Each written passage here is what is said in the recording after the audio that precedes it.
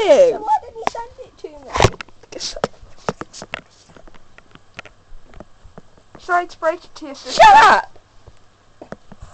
Wake up in the morning feeling like Matt Smith. I got my bow tie and got my face so